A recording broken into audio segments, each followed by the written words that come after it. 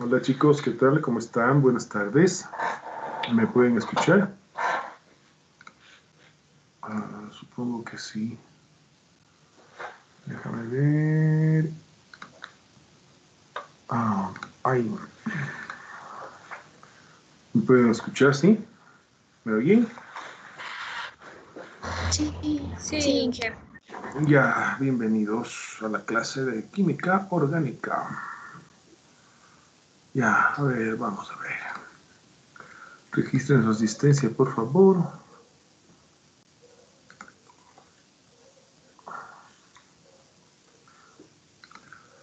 Vamos a ver dónde está la aula virtual.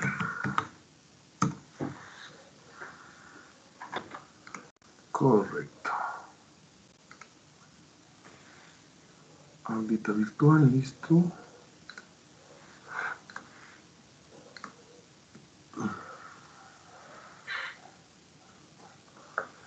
Química orgánica.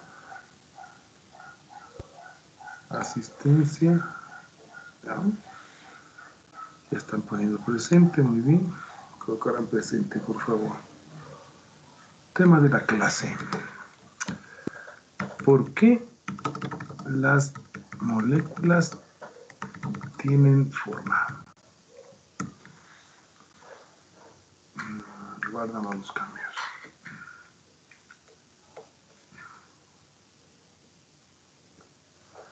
Bien, y mantengo mi pregunta del, del título de la clase. ¿Cuál crees tú que es la razón por la cual las moléculas tienen forma? Esto viene de la parte de la química, de la química orgánica 1 también. Ajá. Entonces, a ver, cuéntenme, ¿por qué las moléculas tienen forma? ¿Qué me dicen? ¿Qué, qué, les, ¿Qué les viene a la cabeza de cuál es la razón por la cual una molécula tiene forma?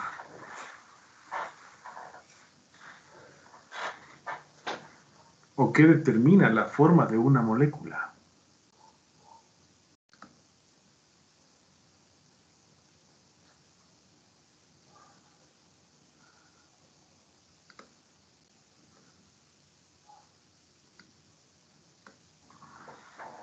Voy a poner aquí la, la pregunta por si no quieren participar en, aquí en la, en la sala. José David Andrade, dime.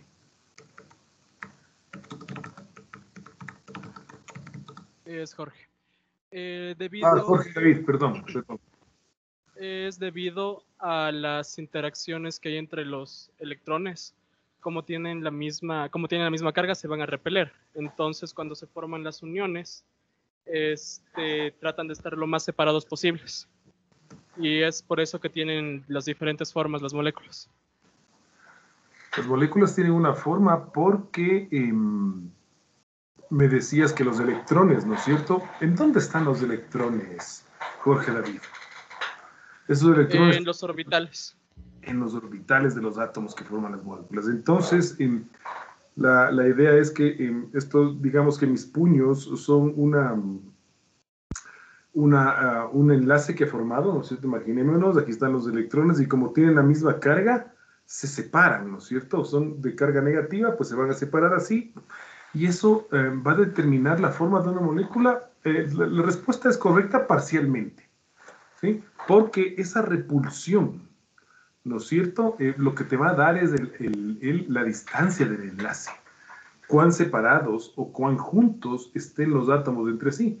Mientras más eh, separados esté, pues significa que hay más electrones, podría ser una idea, ¿no es cierto? Entonces, más cargas negativas se separan más entre sí.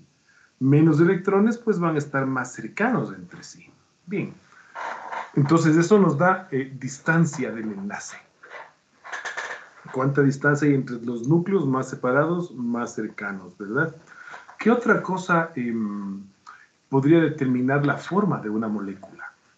¿Qué más tienen por ahí? Si es que no quieren participar aquí en, la sala, eh, abriendo el micrófono, pues pueden hacerlo por, el Menti, ¿no? que lo tienen también en la pantalla compartida. ¿Por qué las moléculas tienen forma? Y hemos hablado de que tenemos em, enlaces, ¿no? O sea, de que tenemos electrones que están en los orbitales, se separan entre sí. Ya, muy bien, excelente. ¿Qué más? Ideas. No busco la respuesta correcta, sino de entre todas las ideas que van sacando ustedes, eh, pues em, llegamos a tratar de em, definir el concepto. ¿Por qué las moléculas tienen forma?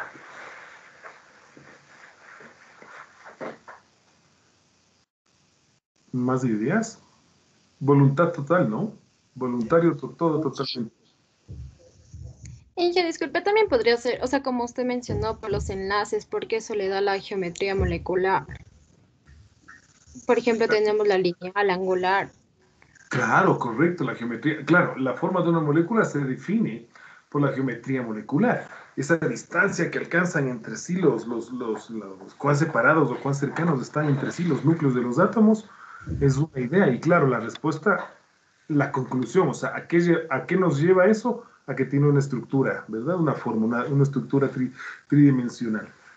Pero me falta un, un, un criterio más. Veamos si es que sale de entre ustedes para que una molécula tenga forma. Es todo cuestión de saber. A ver, adelante, Melanie. Angelita. Eh, por los átomos sí, sí, claro, definitivamente. Los átomos, ¿verdad? Por el tema de la, em, lo que decíamos, ¿no? Los átomos tienen electrones y pues los electrones están en los orbitales y estos, em, como son de la misma carga, tratan de estar lo más separados entre sí. Sí, claro, por supuesto. ¿Los átomos son los causantes de la forma de las moléculas? Sí, estoy de acuerdo contigo. Pero me falta algo más. Em, bien, esta palabra que aparece aquí en el, en el Menti me gusta bastante, estabilidad. Y eso es correcto. La estructura 3D que alcanza una molécula, cualquiera que ésta sea, sea química orgánica o sea química inorgánica o química en la parte de las moléculas eh, relacionadas con la vida, eh, pues la estructura tridimensional que alcanza una molécula es porque esa es la estructura más estable. Em, y aquí viene una pregunta. ¿Cómo mide usted la estabilidad de una molécula? ¿O qué idea tendría? Tomo esta idea que aparece aquí en el, en el Menti, ¿no? Que me dice estabilidad. Bien, digo, sí, es correcto. La forma más estable es la que determina la estructura de una molécula. O sea, porque unas son lineales y otras tienen, eh, pues no son lineales, sino son tetraédricas. seguro que han escuchado esta palabra antes en la química orgánica. Las estructuras tetraédricas, ¿verdad? Por decirte algo, hay otros que son lineales, etc. Em, ¿Cómo medirías tú la estabilidad de una molécula?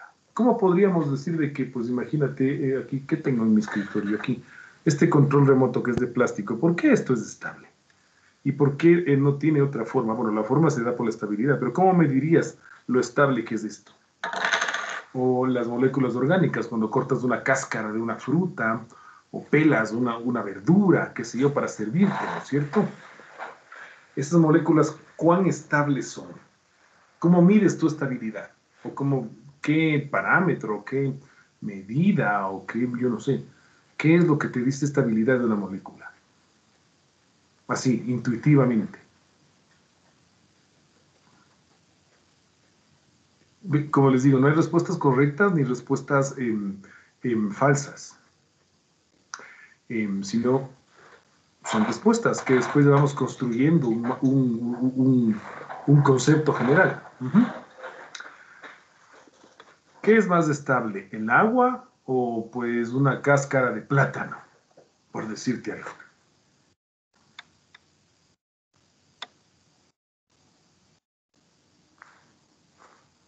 Después voy con las ideas que me están poniendo aquí, porque me dice, por, ¿puede ser por los ángulos que se encuentran separados? Sí, bueno, eso es la siguiente a lo que quería llegar, ¿verdad? Una cosa es la distancia entre los átomos y otra cosa es qué ángulo tienen entre sí los átomos, ¿de acuerdo?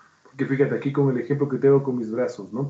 Están a la misma, puede ser que estén a la misma distancia, ¿no? Pero esa repulsión que se da en los electrones, eh, pues él las va separando y em, les da más ángulo o menos ángulo, ¿no? Dos son las cosas que determinan la forma de una molécula, la distancia entre los átomos y los ángulos de enlace. Ahí tienes, si juntas esos dos factores, distancia entre eh, los núcleos de los átomos que la forman, más los ángulos de enlace, tú puedes definir perfectamente la forma de una molécula. Entonces, ¿por qué las moléculas tienen forma? Claro, por los ángulos de enlace y por la distancia entre los átomos. Vamos a ver qué más me está apareciendo aquí en el mente. Dice, por la disposición de los átomos alrededor del átomo central. Mm, de los electrones podría ser, ¿no? Más bien antes que, que de los átomos alrededor del átomo central, ¿no? Dice, puede ser, ya está, polaridad, reactividad. Mm, eso mm, versus, versus estabilidad de la molécula. fuerzas de cohesión entre los átomos de una molécula.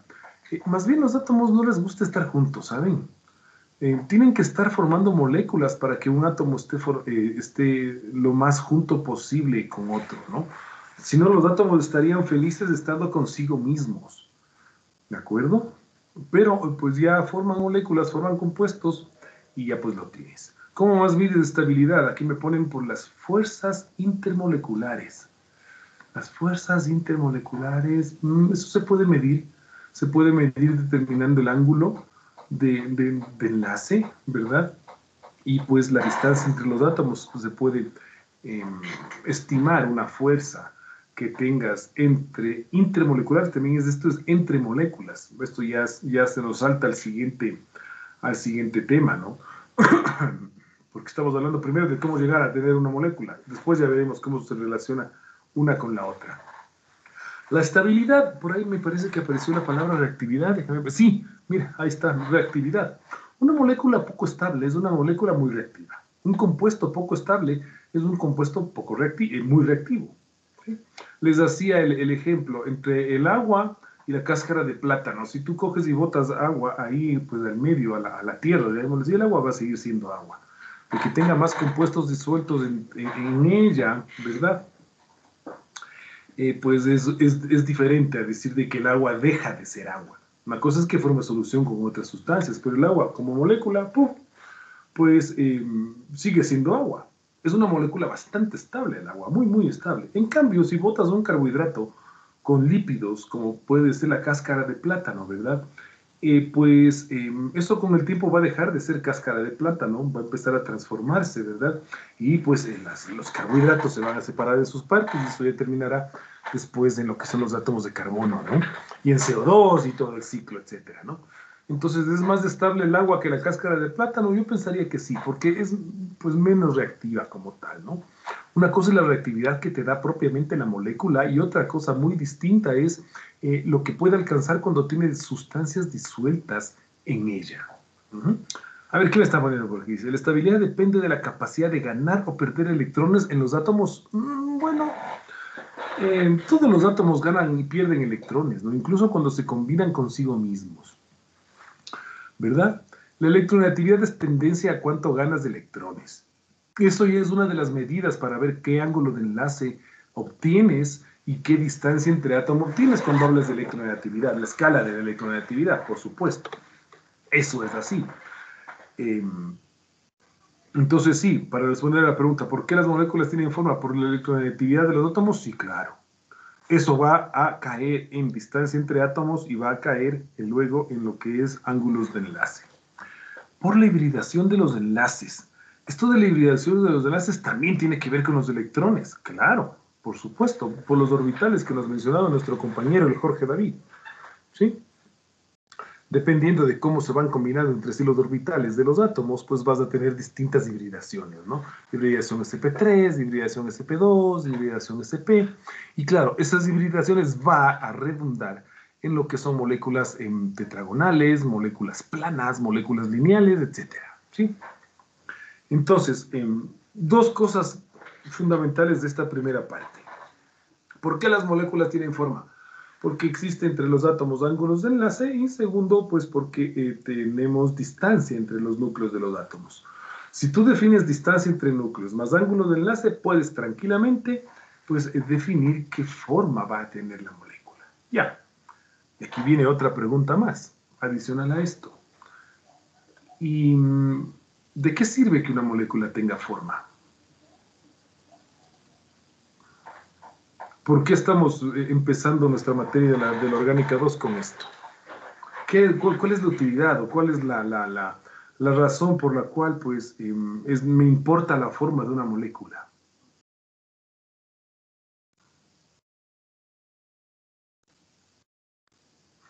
¿O por qué toda esta discusión? Bueno, debate. Pueden seguir poniendo las respuestas que se les ocurran aquí, ¿no? En el chat del Menti. Pueden hacerlo sin problema. Todo lo que se les venga a la cabeza es válido. Como te digo, no hay respuestas verdaderas, no hay respuestas falsas. Aquí simplemente son lo que tú tienes por ahí por la cabeza, dándote la vuelta como químico, como ingeniero químico en formación. ¿Por qué interesa la forma que tiene una molécula?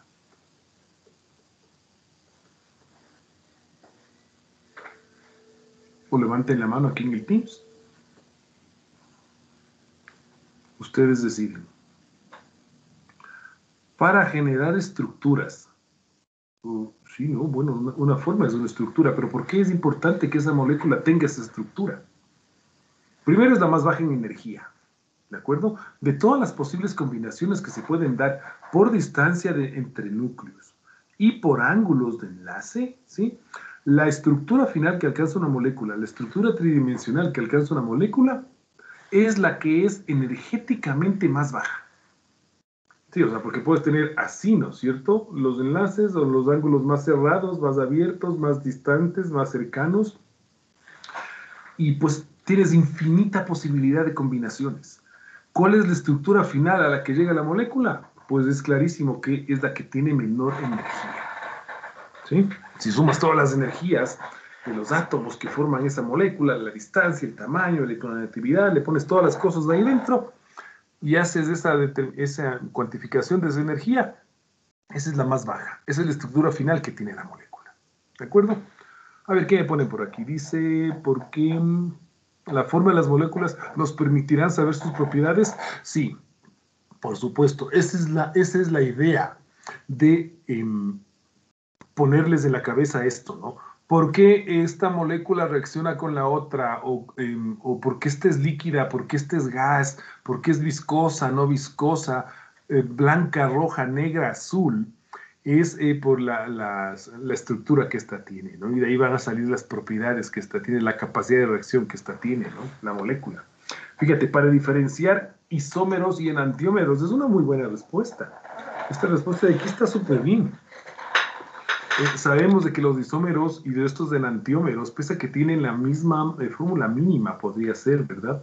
Pero esa diferencia en la estructura, que esté a la derecha el, un grupo atómico y que en la otra molécula esté a la izquierda, lo que se conoce como giros dextrógiros o levógiros, que deben haber escuchado también, ¿verdad? Claro, da propiedades, por supuesto, ¿sí? Eh, por ejemplo, en los aminoácidos que forman las proteínas, nuestros músculos, yo puedo mover mis manos, ¿verdad? Mis dedos, porque tengo músculos. Estas proteínas de aquí, ¿no es cierto?, están formadas por aminoácidos. Y se logra mover el músculo porque estos aminoácidos son L, levógiros. ¿sí? En cambio, los azúcares, si tú te comes un canguil, o te, o te, comes un poco de arroz, o de fideo, o de patatas, o de papas, ¿verdad? Camote, yuca, etc. Y tienes carbohidratos para aburrirte, ¿verdad? Para que esos carbohidratos lleguen a tu sangre, y, y, sea el combustible de tus células, necesitas de que eh, los eh, isómeros de los azúcares, básicamente glucosa y, su, y, sus amigas, que lo estudiaremos en la unidad tercera, eh, pues sean isómeros de. Claro, correcto. Entonces, la estructura define las propiedades de la molécula. La estructura va a definir la función que ésta tenga. A ver, ¿qué más le pusieron? Dice, para mejorar para formar de mejor manera los componentes estructurales de las células de los tejidos? Por supuesto. Es que es, e, esta respuesta está súper correctísima, igual que las, las anteriores, que les voy comentando a cada una. Eh, pues claro, si los eh, lípidos que forman la membrana celular no tuvieran la estructura que estos tienen, definitivamente no estarían ahí en la membrana celular. Es más, no habría membrana celular o pared celular, dependiendo del mundo del que estemos hablando. Es por eso que el famoso colesterol, seguro que has escuchado el colesterol, que también lo vamos a estudiar en la, en la tercera unidad, eh, pues cuando tienes exceso de colesterol en tu dieta, más allá del problema este que se forman los, la, los taponamientos arteriales, etcétera, ¿no? por exceso de colesterol, eh, pues cuando este se incrusta en la membrana celular, ya la membrana celular empieza a perder función. Y si, y si la membrana celular no funciona adecuadamente, pues la célula se muere. Entonces, fíjate, para formar de mejor manera, yo diría para formar de única manera los componentes y, de las células y de los tejidos, ¿no? Para determinar las propiedades de las moléculas, sí, correcto. Por eso es lo que estudiamos la forma. Puede ser por el punto de ebullición y el punto de fusión de las moléculas. Em, bueno, cuando están todas juntas, ¿no? Ya los tienes en un estado de agregación más grande, que puede ser sólido, líquido, gas, ¿verdad? Y pues em, la forma de caracterizar a las sustancias es punto de fusión tanto, punto de ebullición tanto, correcto, cuando son volátiles, no punto de ebullición, claro, por supuesto. ¿Por qué el hielo funde a cero grados? ¿Verdad? Y si haces una mezcla de agua con hielo, eh, esto funde a menos 8 grados centígrados. Chuta, pero ¿cómo así? Es por esas formas están ahí, ¿de acuerdo? Es por la estructura que alcanza la molécula lo que sucede esto. Entonces, claro, es una medida macro el decir, oye, ¿a cuánto hierve la molécula? Bueno, el líquido, ¿verdad? O a cuánto se congela este líquido, o a cuánto se funde este sólido, a qué temperatura, a tantos grados centígrados. ¿Pero por qué? La respuesta está en la, en la, en la estructura molecular que tiene, en esa forma que tienen las moléculas, ¿no? Dice, porque uno de sus objetivos es formar estructuras más complejas que en los átomos, sí. ¿De acuerdo? Eh, las moléculas, em, las macromoléculas, y de ahí que se hagan más complejas aún, se puede interpretar eso como eh, la formación de proteínas. A veces las proteínas están formadas por cuatro dominios de moléculas grandes. Y claro, esa estructura de esas proteínas es mucho más compleja que las partes, sí. Pero cómo se, cómo se une una proteína con otra, ¿no es cierto?, para formar estas asociaciones, eh, pues es gracias a la estructura molecular. ¿Por qué cuando, cuando tú respiras, tomas aire por la nariz, ¿verdad? Se llenan nuestros alveolos pulmonares de, de aire y es ahí donde hay la transferencia del oxígeno hacia los glóbulos rojos, hacia el grupo hemo de los glóbulos rojos. ¿Por qué entra el oxígeno de forma perfecta hasta el glóbulo rojo? Se asocia con el hierro 2 más es por la forma que tiene ese glóbulo rojo. ¿Y cómo alcanza esa forma? Gracias a las moléculas de las proteínas que lo, que lo, componen. ¿Vale? Tal vez dependen del espacio en el que se encuentren, ya que puede variar la forma si entra en un agujero negro. Eh, uh, qué buena, qué buena. Bueno, es que ella tiene otras fuerzas que estarían alrededor de la molécula como tal, ¿no? Pero interesante, interesante esta, no sé mucho yo de agujeros negros, la verdad. Me gustaría saber más de esto. Pero no, tengo idea. ¿Qué es ahí donde tienes una altísima fuerza de gravedad? Me parece dentro de un agujero negro, que que se va comiendo todo, ¿no? Pues sí, se podría alterar la forma. Y si se altera la forma de la molécula, pues definitivamente pierde sus propiedades. Pierde sus propiedades y se echa a perder. ¿eh? Seguro que has escuchado alguna vez de la desnaturalización de las proteínas. ¿Mm? Bueno, puede ser que sí, puede ser que no. Pero em, normalmente nosotros, bueno, bueno, las personas que em, utilizan em, alisadores de cabello, por ejemplo, eh, lo que haces es que tienes el cabello ensortijado, ¿verdad? Y quieres vértelo plano, plano, plano, plano, así como una cascada cada de, cabello que cae por tu rostro y que se ve muy bonito, ¿verdad? Entonces coges la plancha de pelo y, ¿no es cierto? Que está caliente, le vas pasando, le vas pasando, le vas pasando, y estás desnaturalizando la proteína, le estás quitando su forma a la proteína, el cabello es proteína. Y si es que tiene esa forma, pues así como de rizo, cabello chureado, ¿verdad? Es porque tienes eh, tendencia a hélices alfa en la proteína por los puentes de hidrógeno, que también es, otra, otra eh, de los medios con los cuales se alcanza la, la, forma de una molécula. Le desnaturalizas, le quitas la forma con calor o con reacción química, etc. Bien, entonces, ¿por qué empezamos la química orgánica con esto? Vamos a hablar de lo que son colorantes en nuestra, en nuestra asignatura. Vamos a hablar de lo que son em, polímeros, vamos a hablar de lo que es em, terpenos, de lo que son carbohidratos, de lo que son proteínas. Vamos a hablar de ADN, vamos a hablar de ARN. Em, entonces, em, decimos, ¿por qué esto reacciona de esta manera y no reacciona de la otra? Vamos a hablar de, de polisacáridos, monosacáridos, disacáridos, lípidos, colesterol, triglicéridos. ¿Por qué funcionan así y no funcionan de otra manera? Por la estructura que ésta tiene. ¿De acuerdo? Entonces, esto es un campo de estudio que a los químicos definitivamente les, les voló la cabeza. Y estamos hablando de finales del siglo XIX, cuando en la química eh, pues, eh, se hacían estudios de la composición. Es decir, em, tengo esta sustancia, ¿de qué está hecha? Ah, tiene carbono, ah, tiene hidrógeno, ah, mira, tiene oxígeno, o tiene nitrógeno, tiene fósforo. ¿Y en qué cantidades se encuentra cada uno de estos átomos? C6H12O6, ¿verdad? ¿Por qué hay 6? ¿Por qué hay 12? ¿Por qué hay 6? Eso fue lo primero que a los químicos les voló la cabeza, así les hizo, se pusieron a, estudiar todo esto. Esto nosotros lo estudiamos ya en el siglo XXI, cuando haces fórmula mínima y fórmula molecular, que son cosas divertidas que se hacen en la, en el colegio se hace eso, ¿no? Aquí en la universidad también hacemos lo que es fórmula mínima y fórmula molecular. Entonces, em, pero luego, ya con el devenir del siglo XX, lo que les voló la cabeza a los químicos es decir, oye, tenemos la posibilidad de saber qué forma tiene una molécula. Está súper chévere. Es decir, una cosa es la cantidad mínima de átomos que, que, la conforman, ¿sí? Por estas relaciones molares, ¿verdad?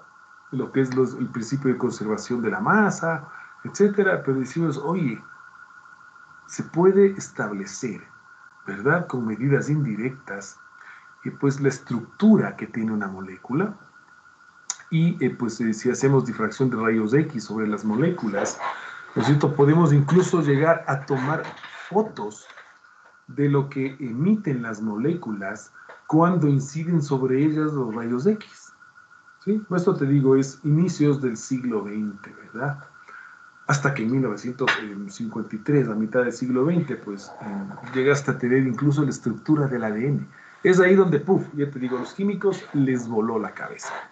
Es decir, oye, depende mucho de la forma que tiene la molécula, depende también mucho estos ángulos de enlace, de ahí sale este tema de los ángulos de enlace, de la distancia que tienes entre los átomos. Dijimos, bueno, pues, estudiémoslo por este lado a las moléculas. Esto va a eh, pues em, definir la forma que tiene. Y si nosotros logramos definir la forma que tiene la molécula, sin ningún problema vamos a poderle dar explicación a las propiedades que está. Ahora, en química orgánica hablaremos de, por ejemplo, color, por qué em, es azul, por qué es rojo, por qué es verde, por qué es amarillo, por qué es tomate, etc. Hablaremos de por qué es resistente, ¿Por qué el PVC es diferente que el polietileno, que el PET? Eh, o que el PE, el poli, eh, el PET, o el polietileno, el PE, o el poliestireno, ¿por qué son distintos cuando tienen una base química similar que es la polimerización?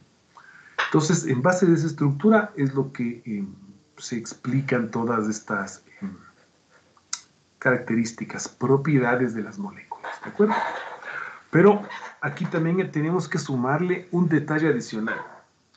Fíjate que em, hasta por nivel de formación, en la primera parte, en lo que tú te encontraste con la química, estudiaste el átomo y mm, los orbitales, el SPDIF, distribuciones electrónicas, bueno, te, podrás acordar del segundo, o del primero, o segundo, o de tercero de bachillerato. ¿sí?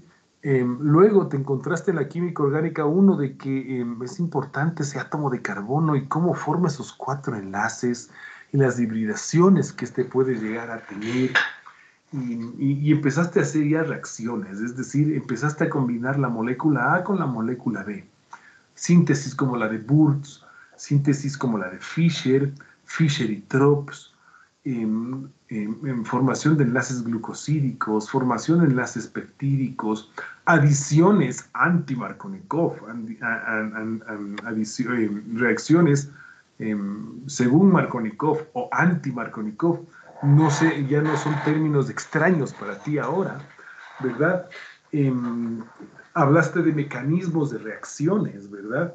entre em, eliminación 1, eliminación 2, sustitución nucleofílica 1, sustitución nucleofílica 2. Entonces te fuiste enterando de que, ah, mm, estas reaccionan entre sí. Dices, oh, qué súper bien. Reaccionan, reaccionan entre sí y, pues puedo yo em, encontrar distintos compuestos y partir, qué sé yo, desde, desde metano y llegar a tener pues benceno o, cómo puedo sustituir yo el benceno con otros eh, radicales, etcétera, etcétera, etcétera. Muchas de las moléculas grandes que nosotros estudiamos en la química orgánica 2 eh, reaccionan por su estructura, como lo hemos dicho, ¿sí? Y eh, también reaccionan por la interacción que tiene con otras moléculas, ¿sí? Entonces vamos a estudiar, esta es nuestra parte inicial, ¿sí? El dejar claro eh, que para que una molécula reaccione con otra, ¿verdad? Pues depende de su estructura, ¿sí? Y eh, la interrelación que tenga con pues otras moléculas, ¿sí? Y es aquí donde vienen teorías, Esto es donde viene la parte eh, de ciencia como tal, chicos. Es decir, ¿qué es ciencia? Tengo yo frente a mis ojos un fenómeno. ¿Qué fenómeno es este? Que una molécula, la molécula A, reacciona con la molécula B. Y dices, mmm, qué interesante. ¿Y por qué reacciona la A con la B? Ah, que le debo calentar, que le debo cambiar de presión, que debo hacer toda una serie de cosas, ¿no es cierto? Y de esa manera llego a que reaccione la A con la B. ¿Sí? Entonces se plantean hipótesis, dices, para que A reaccione con B, debe tener esta estructura, eh, deben estar presentes, eh, qué sé yo, puentes de hidrógeno, debemos tener tal temperatura, tal presión, ¿sí? Se hacen experimentos y se comprueba la teoría. Eso de hacer ciencia. Y después se sacan conclusiones y ya se pueden explicar las cosas. Y es por eso que esta parte inicial se conoce como teoría de repulsión de los electrones, interacciones no covalentes y mecanismos de reacción. Que es más o menos para ya darnos el, el, la entrada a lo que son las, las moléculas grandes que vamos a ver. ¿sí? No se olviden de esto nunca. Eh, ¿Cómo reacciona una molécula? Bueno, primero, ¿por qué una molécula tiene forma? Porque hay distancia entre los átomos y hay ángulos de enlace. Todo es esto debido a estos electrones famosos, ¿no es cierto?, que están en los orbitales. Por eso es teoría de repulsión de electrones de la capa de valencia, para tratar de explicar esto de la distancia y los ángulos.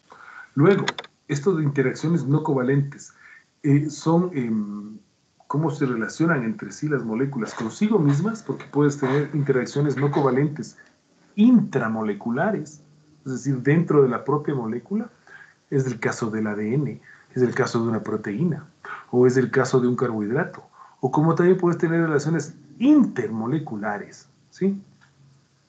Que son dos moléculas distintas que se relacionan a través de, estos, de estas fuerzas no covalentes. Y haremos una, un repaso súper rápido, súper breve, al respecto de lo que son mecanismos de reacción. Bien, entonces, eh, lecturas, lecturas complementarias para que puedas, eh, si dices, oye, esta parte que habló el, el, el, señor de orgánica está súper chévere, me gusta mucho, me gustó muchísimo, está precioso, quiero profundizar más. Tienes aquí pues eh, el paper original y esto encuentras en el aula virtual de Sidbook y Powell, de, publicado en 1940, donde te explican súper a detalle su teoría. ¿De acuerdo? Y pues el otro paper también, ¿no es cierto? Que es el de Gislepi y Nylon. Ni, ni, ni Holm. No, Nylon, por favor. Qué mal pronuncié este, este apellido. De Neholm, de 1957. Que eh, ya te habla de lo que es eh, la parte de la estereoquímica inorgánica. Ahí empezó todo, ¿no? Para poder entender esto. Bien, lecturas complementarias, ¿verdad? Eh, te puedes leer el capítulo 5 del libro de Hart con el título Estereoisomerismo, el capítulo 9 de McMurray como estereoquímica, o el capítulo 2 de Wave, que es estructura y propiedades de las moléculas orgánicas, ¿de acuerdo? Esto complementa. Es decir, bueno, a repetir lo que les decía el día de ayer, chicos. Está bien de que te estudies de las presentaciones. Sí, uh, genial. Y es que yo, profe, en la presentación decía así. Mm, si quieres tener un, una cosa que no sea el resumen del resumen del resumen, ves a los libros. Y te estoy dando dos papers más cinco libros, más cinco capítulos, más eh, tres capítulos, ¿no? cinco fuentes adicionales. Bien. Bien, y esto es lo que les decía. Lo que tú ves aquí es ADN. Ah, sí, esto de aquí es ADN. Es una representación em, em, computarizada de lo que es ADN. ¿Por qué tiene esa forma? Por las moléculas que lo forman. Por las interacciones no covalentes que se dan entre las moléculas. Así se guarda nuestra información genética en, el tema de la vida, ¿no? Lo que tienes acá dibujado, permíteme sacar el puntero, el puntero láser. Este es ADN, ¿no? Esto que tú ves aquí en la esquina, ADN. Lo que tienes acá, fíjate, en esta parte de aquí, si le ves esta estructura, que tiene este como ah, estructura química aquí de color naranja y que tiene aquí una bola central. Esto es mioglobina. Es una de las proteínas de transporte de oxígeno a nivel de tejidos. ¿sí? Si juntas cuatro de estas, tienes los tetrámeros, porque son cuatro, y pues tienes hemoglobina. ¿sí? la principal proteína en nuestros glóbulos rojos. Y es por el átomo de hierro que tienes pues, en glóbulos rojos. ¿no? Aquí lo que tienes son hélices alfa de proteínas. Aquí lo que tienes son láminas beta de proteínas dibujadas, ¿verdad? Y esta de aquí, ¿qué es esta de aquí? Esto es una secuencia... Mm, este es un anticodón, este es un ARN. Esto es, es un ARN, eh, esta sería una vacuna. Digamos que esta, esta podría ser eh. No, es que estas son dos hélices, déjame ver. Sí, son dos hebras. O es una sola hebra que está plegada. A ver, déjame verle bien. Sí, no, es una sola hebra que está plegada, no son dos hebras. Entonces bien podría ser esto un ARN recombinante y esta secuencia de aminoácidos que tú ves aquí es lo que va a codificar la proteína spike del coronavirus, ¿no? ¿Cuál es la razón de que estas formas son las que funcionen? Primero son las de más baja energía, te lo dije antes, ¿no es cierto? Para que el ADN llegue a tener esta estructura es porque esa es la, la forma más baja energéticamente posible. Éxito del ADN. Igual, ¿por qué la hemoglobina tiene esta la mioglobina, perdón, tiene esta forma? Es que es la energía más baja posible. ¿Cómo alcanza esa forma? Distancia entre los átomos que, que la conforman y ángulos de enlace. De esto va esta, esta, primera, esta primera idea. Entonces, primera idea poderosa, chicos. Para poder entender esto de la estructura, tenemos que hablar de la teoría de repulsión de pares electrónicos de la capa de valencia. Teoría de repulsión de pares electrónicos en la capa de valencia. Y aquí viene mi, primera pregunta para ustedes. ¿Por qué habla de pares electrónicos?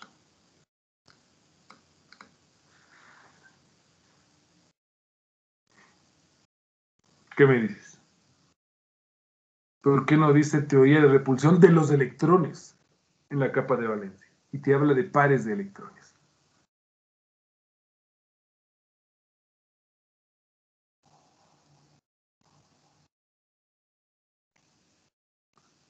Jorge David. Porque los... ¿Sí se me escucha bien? Disculpe. Sí, sí. Fuerte, claro. Porque los electrones suelen este, ocupar el mismo espacio, el mismo orbital. O sea, dos electrones suelen ocupar el mismo orbital. Y cuando esos electrones comparten ese orbital se llama enlace, ¿no?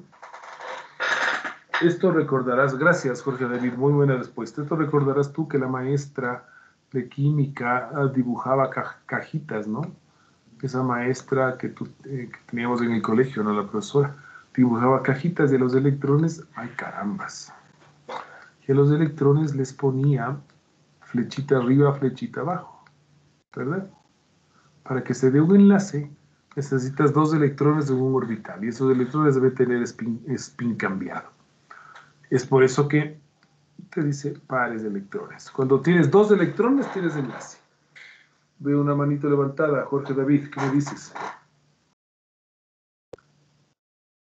Eh, disculpe, me olvidé de bajar la mano. Mm.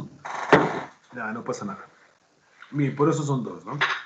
Teoría propuesta en 1957 es un modelo propuesto por el señor Giuseppe, Gislepi, y Niholm, 1957. Y es una teoría que resulta útil para predecir la estructura ah, de cualquier molécula cuya fórmula general sea AXNSM, siendo, uy, perdón, algo pasó aquí. Déjame ver, ¿qué pasó aquí? Ah, sí. Uy, se me ha movido la... Oh, no, pues, bueno, habrá que mejorar esto, está movido. Em, siendo A el átomo central, X el número de átomos ligantes. Átomos ligantes, es decir, son los átomos que están alrededor del átomo central de tu molécula. Siendo ese eh, los pares de electrones no enlazantes o solitarios. Es decir, son ese, esa S, ¿no es cierto? Em, que eh, no participan del enlace. Esa, esa, S que tú ves ahí te dice cuántos pares de electrones eh, están solitos, es decir, que no participan en el enlace. Estos son muy comunes para darte una idea de esto cuando tienes el átomo de oxígeno, ¿no? Mira, dibujemos aquí el átomo de oxígeno, dibujemos una moleculita de agua. El átomo central de mi molécula es el oxígeno, ¿verdad? Átomo central, oxígeno. O. Átomos ligantes, hidrógenos, ¿verdad? ¿Cuántos átomos ligantes tengo? Eh, pues, em, ah, mira, la N es el número de pares enlazantes. El átomo central es este, aquí está un electroncito del oxígeno, aquí está el otro electroncito del oxígeno que se junta con el electrón del, del hidrógeno, ¿verdad? Entonces, em, ¿cuántos números de pares de enlazantes tienes? Tienes un par enlazante que está formando el enlace y dos pares de enlazante. N es 2. En este ejemplo que estoy colocando, N es 2. ¿De acuerdo? Y luego nos dice que la S es del par de electrones em, no enlazantes o solitarios. Em, y que está asociado con la letra M, si tú lo ves, ¿no? Número de pares que no participan del enlace. Entonces, ¿dónde están los pares que no participan del enlace? Fíjate, aquí está. El oxígeno tiene aquí otros electrones. Eso. Si le ves, estos electrones de aquí del oxígeno, eh, pues se les conoce como electrones libres no combinados, ¿verdad? Eh, pues no participan del enlace, pero forman parte de la estructura del oxígeno. Entonces, el número de pares del no enlace, pues dos también. ¿Sí? Entonces, esta teoría nos va a decir, ¿no es cierto?, qué ángulos tú obtienes cuando eh, pues em,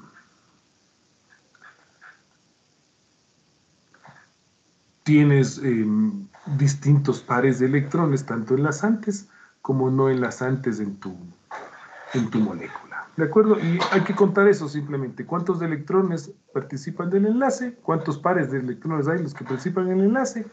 Saber identificar el átomo central y saber identificar los átomos eh, periféricos. ¿De acuerdo? Entonces, vamos a hacer em, las ideas y estas reglas iniciales. ¿De acuerdo? Entonces, la idea inicial. Acuérdate que la molécula es ASM, ¿no? AXNSM. Bien. Entonces, em, dependiendo del número de pares de electrones que tú tengas alrededor del átomo central, como lo estás viendo tú aquí, ¿no es cierto? Eh, pues se, eh, se van a tratar de eh, colocar estos pares de electrones lo más alejado posible de los otros, ¿sí? Entonces, si tengo dos pares de electrones, fíjate, aquí tengo un electrón, otro electrón, otro electrón, otro electrón. Si tengo dos pares de electrones, el ángulo más alejado posible para ellos van a ser 180 grados, como se lo ve aquí en este, en este primer dibujito, ¿no? ¿Sí? Entonces, estas moléculas en las cuales tienes pues, dos pares de electrones en átomos enlazantes, ¿verdad? Eh, que digo, en pares de electrones enlazantes, pues, ¿cuál es la máxima distancia a la cual se pueden ubicar para estar lo más lejos posible entre ellos? 180 grados, ¿verdad? Si tienes tres pares de electrones, mira, uno, dos, tres pares de electrones, pues a 120 grados cada uno. Si tienes cuatro pares de electrones a 109,5 grados, Si tienes, eh, ¿cuántos pares? 1, 2, 3, 4, 5, a 90 grados, ¿no? ¿verdad? Sería pues la distancia más, más alejada a la, que te, a la que te encuentres. Y si tienes 4 más 2 son 6, también son eh, 90 grados, lo máximo que puedes tener em, angulados estos. ¿Sí? Entonces, esta es la primera idea, la forma. Y el ángulo de enlace, ¿no? Y el ángulo de enlace. Entonces, mientras más pares de electrones tengas juntos, eh, pues em, como que se van a ir acercando entre sí los, los ángulos de enlace. Eh, ya, entonces esto va a derivar en reglas, chicos. ¿sí? La primera regla, ¿qué es lo que nos interesa establecer ahora? Ángulos de enlace y distancias de los enlaces. Entonces, eh, los pares eh, solitarios repelen a otros pares, carga negativa con carga negativa, cercanos más fuertemente que los pares compartidos o, los, o de enlace. Estos electrones que están solitos, acuérdate aquí mi ejemplo que te dibujé de la molécula del agua, ¿dónde dibujé? Aquí. Uh, pero ya se me borró lo de la molécula. ¿Dónde dibujé lo de la molécula del agua? Mm, aquí estaba. No, 180, uy, ya se ha borrado. Aquí está la de la molécula del agua, fíjate.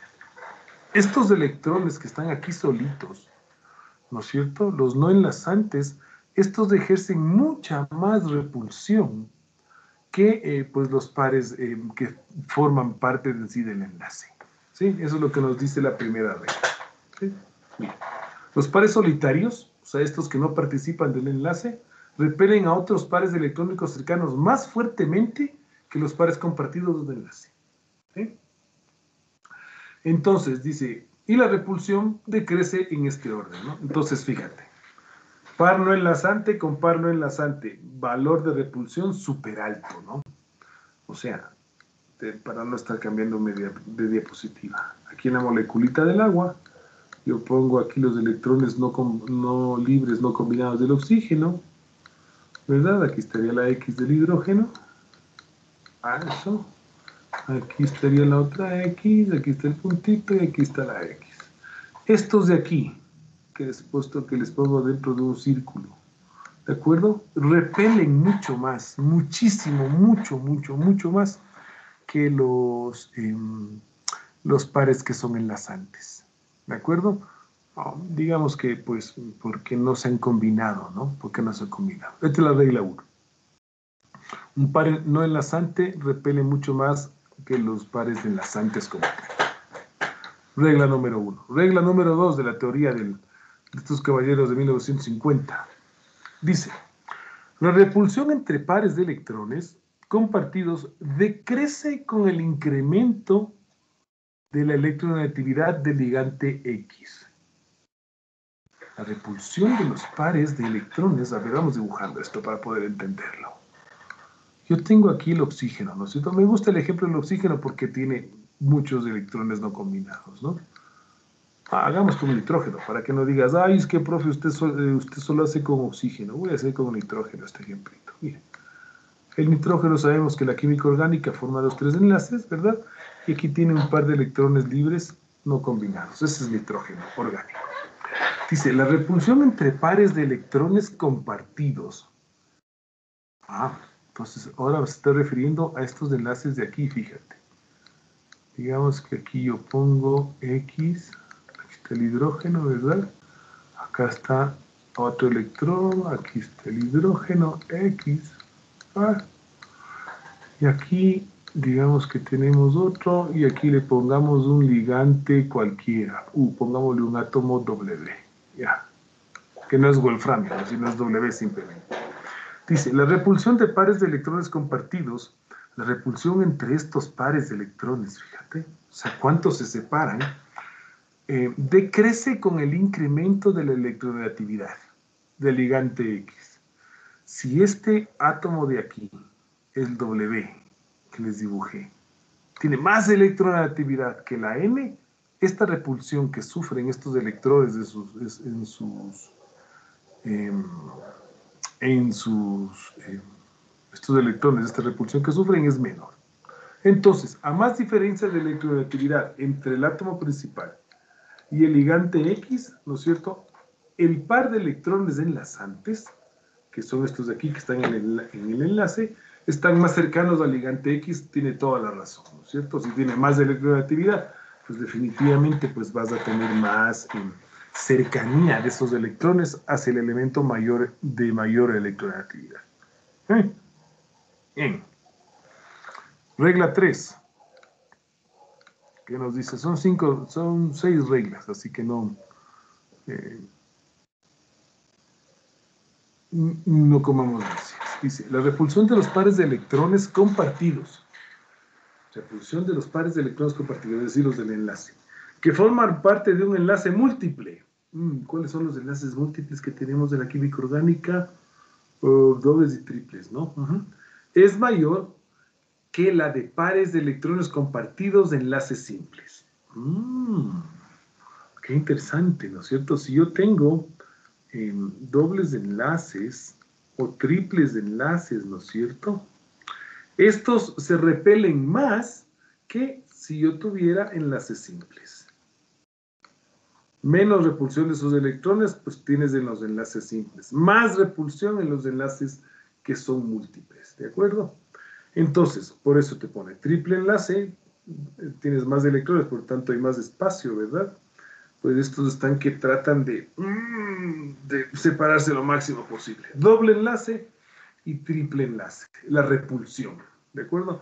No es de gana, entonces, que pues eh, cuando tienes moléculas con triples enlaces, son pocas las moléculas que tienen gran estabilidad que tienen triples enlaces. Por lo general es que son chiquititas, ¿no? Las que son pequeñas les va bien el triple enlace, pero ya en moléculas más grandes tener enlaces triples mm, no es tan ventajoso porque como las repulsiones son muy altas, ¿no? Es una repulsión muy, muy grande, la molécula pierde estabilidad. La molécula va perdiendo estabilidad, ¿sí? Ya algo hablamos de estabilidad al inicio, ¿no? Y es por eso que, pues, lo que son proteínas vas a encontrar, también encuentras enlaces dobles, pocos, muy pocos enlaces simples, pero por lo general, eh, eh, triples digo, pero por lo general las moléculas orgánicas, las grandes que vamos a ver, están llenas de enlaces simples. Hay por ahí sus enlaces dobles, pero no son muy, no son muy comunes. ¿De acuerdo? Esta es por esta regla de aquí que se llega a la estructura, ¿no? Bien, regla 4. Nos dice la reglita 4, dice. Las repulsiones entre pares de electrones en capas llenas, en capas llenas, es mayor que aquella entre pares de electrones en capas incompletas. Tiene su lógica, ¿no? Si la capa está llena, si el orbital está lleno, todo ese espacio que tienen los núcleos de los átomos de alrededor, pues si tengo más espacio, tengo más electrones, evidentemente voy a tener más repulsión, claro por supuesto. En cambio, si tengo una capa incompleta, voy a tener menos repulsión. Acuérdate que esto de la famosa repulsión te va a determinar el ángulo de enlace, ¿no? El ángulo de enlace al cual tú vas a llegar. 5. Cuando un átomo con una capa de valencia completa, capa de valencia completa, mm, ya me, eh, diferenció las palabras donde uno o más pares de electrones solitarios, esos son los que no forman parte del enlace, se unen a otro átomo el cual tiene su carga de valencia incompleta. Ajá.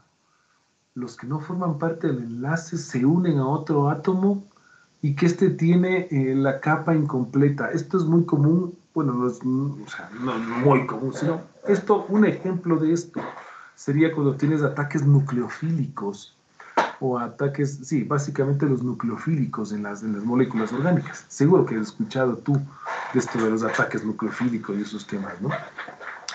Ah, dice, se presenta la tendencia de que los pares de electrones solitarios se transfieran, deslocalicen de la capa llena a la incompleta. Es por eso que esos ataques nucleofílicos, ¿verdad? De los nucleófilos, de los electrófilos, etcétera, pues tienen efectividad. ¿Sí? Entonces, cuando la capa llena tienes más repulsión. cuando tienes una capa incompleta, pues tienes menos repulsión. Que eso ya es algo que ya lo sabíamos y es pues similar a decir, una cosa similar a la que nos mencionaba la regla número 4. Bien, regla 4 y por último regla 5, ¿verdad? Ah, no, regla 5 era la anterior. Esta era la 5, pero llegamos a la regla número 6. En una capa de valencia que contenga 5 pares de electrones. 5 pares de electrones, 10 electrones, qué vestido está grandísimo. Aquellos que tengan mayor número de vecinos cercanos estarán a una distancia mayor que los otros. Esto es común de los, de los elementos que están en la mitad de la tabla periódica, chicos. O sea, para tener 5 pares necesitas 10 electrones. 5 pares son 10 electrones y qué bestia. No, avanzan pues tantos si solo hablas de los subniveles S o subniveles P. Ahí tienes el máximo 8, que son los... De ahí salió lo de la famosa regla del octeto, pero el instante en que te encuentras electrones, eh, elementos que tienen más electrones, que son estos que están en los subniveles F, pues ahí viene y dices, wow, madre de Dios, esto, puff, se repelen, ¿no es cierto? Y claro, aquellos que tengan mayor número de vecinos cercanos estarán a una distancia mayor a ellos, claro, se repelen más. Mayor repulsión, mayor distancia. Entonces, claro, electrones vecinos se repelen más, por supuesto. Menos electrones vecinos se repelen menos, ¿vale? Entonces, en base a estas cinco reglitas, eh, pues estos amigos en Giuseppe, ¿no es cierto? Eh, pues empezaron a, a teorizar ¿sí? Y a darles eh, formas a las moléculas. Aquí les pongo la tabla del paper de estos amigos. Dicen, por ejemplo, una molécula que es lineal, ¿no es cierto? Tiene número de pares de electrones, dos, y no hay em, electrones que, que, son pares em, sueltos, digamos así, ¿no? no combinados. Por ejemplo, para tener una, una geometría triangular, ¿sí? necesitas tres o dos pares de electrones. Si que tienes tres pares de electrones, eh, no debes tener no combinados, pero si tienes dos pares de electrones, te acepta hasta un solo combinado como tal. Esto es muy común del nitrógeno, por ejemplo. Tienes una forma de D, o pues la parte triangular plana, como en este caso del boro, ¿no? Y así pues yo estaba diciendo, fíjate, yo quiero un tetraedrio, y aquí te da las posibilidades para llegar a un tetraedrio y te pone ejemplos o yo quiero una, eh, bipirámide trigonal. Fíjate, ya nos aparecieron los niveles D. Eso que te decía, que tienen como 10 electrones más ahí en la posibilidad para 10 electrones más en sus orbitales, ya van apareciendo, ¿no? Y, pues, esta es la teoría de estos buenos amigos, ¿no? Y en la parte de la química orgánica, ¿sí?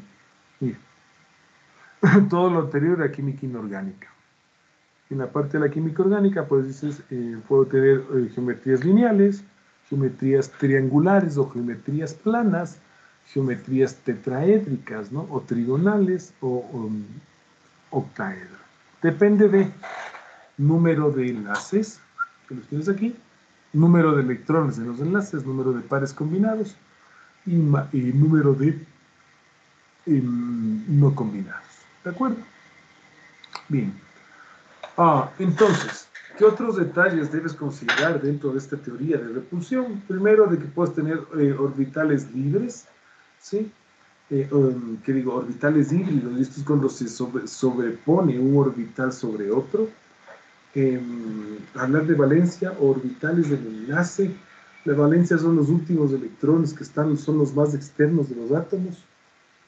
Los orbitales de eh, tienes más de 8 electrones en la capa de valencia, ¿no? Se sabe que el D se llena máximo con 10, entonces tienes pues 8 electrones ahí.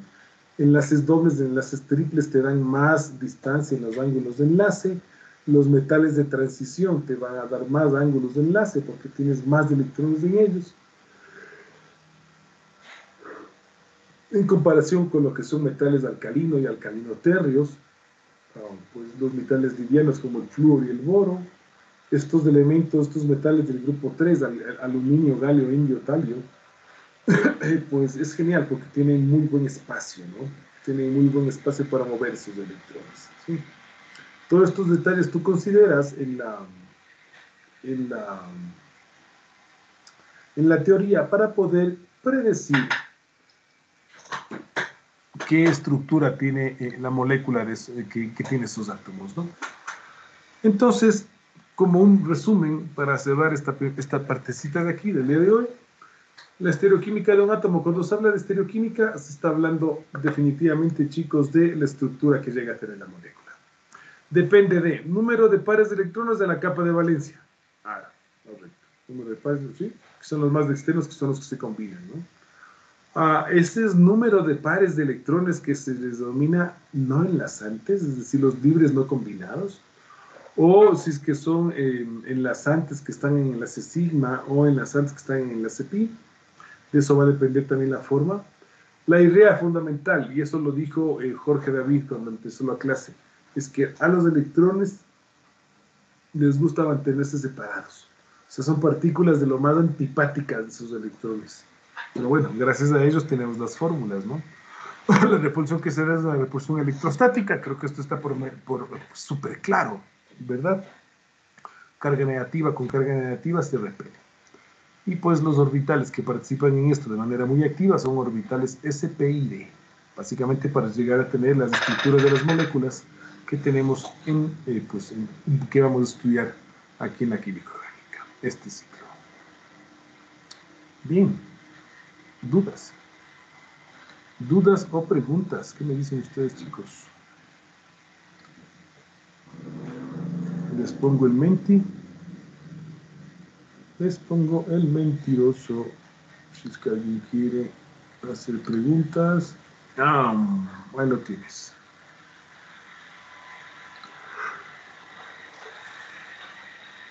Perdón, listo, ahí lo tienes. ¿Alguna duda?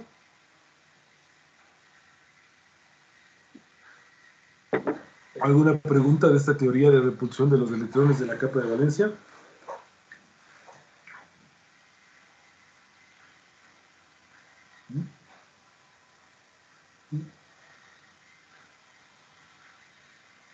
Hablé muy rápido. Como no les puedo ver el rostro. Marco Vinicio. Sí, Inge, buenas tardes. Sí se me oye. Fuerte y claro. Ya, eh, con respecto a la, a la regla 2, eh, hay un... No lo entendí muy bien. Es, tenemos de ahí dos, dos pares, dos gigantes, es verdad. ¿Y cuál elegiríamos de ahí en ese caso? El que tenga mayor electronegatividad. Lo que te está diciendo es que mientras más electronegatividad tenga el ligante, esos electrones van a estar más cerca de ese átomo electronegativo. Lo que te está diciendo es que de esto va a depender una buena parte en la distancia del enlace, ¿no? Qué tan separados o qué tan juntos estén los núcleos de los átomos, depende pues de esta, una parte depende de esta regla. ¿no?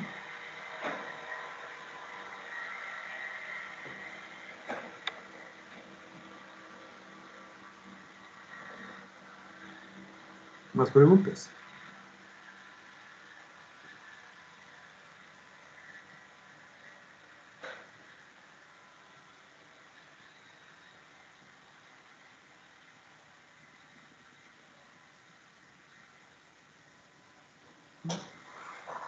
Pues ya lo tenemos, chicos.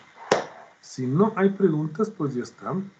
Les dejo libre. Sí, yo tengo una pregunta. Sí, ¿quién? No sé, no sé quién me habla. Ya le alzo la mano. Dígame, Joan Stephanie, no se preocupe. Ya, eh, yo tenía una duda, o sea que entre más repulsión existe, hay menos estabilidad. No, no, no, no. No es, no, ahí sí no tienes una relación entre estabilidad y repulsión, porque la repulsión es el paso previo a tener estructura y a una vez alcanzada la estructura podrás ver la estabilidad que esta tiene, ¿no? Pero no, o sea, no, no, hay, no hay una reducción. Más repulsión es más distancia, más, más repulsión es estar más separados o estar en ángulos más abiertos, ¿no? Puede ser que la distancia entre los núcleos no cambie mucho, pero tienes ángulos más abiertos. Entonces tienes ángulos de 180 grados, 120 y etc. No hay una relación directa entre más repulsión y estabilidad. Ah, ya, gracias, sí. Muy bien. Más cosas. Si no hay más cosas, pues no, ya está. Les dejo libres, les dejo libres para que poder descansar un poco también ustedes, eh, descansar un poco yo la voz. Siempre al inicio del semestre, cuando se vuelve a clases, como no te pasas tantas horas hablando frente a la compu, te cuesta un poquito, se seca la boca y necesitas estar tomando más agüita. En fin, eh, ya está. Les dejo. Que tengan una bonita tarde, mis estimadas y estimados. La estabilidad tiene relación con la reactividad, no necesariamente. Eh, no, es una, no es una relación directa, porque puede ser que tengas algo que sea muy, muy, muy estable y es poco reactivo. O algo muy estable que es muy reactivo. No, no hay una relación directa entre estabilidad y reactividad. Puedes tener cosas que sean muy reactivas y que sean muy estables, como también moléculas que son muy reactivas y poco estables. Algo muy reactivo y poco estable son, son los elementos atómicos, ¿no? Se desintegran. Bien. Pues ya lo tenemos, ¿no? Ahora sí me despido. ¿m? Tengan una buena tarde, chicos. Gracias, Inge. Gracias, Inge. Hasta Gracias. luego. Gracias, Inge. Gracias, Inge. Hasta luego. Gracias, dije.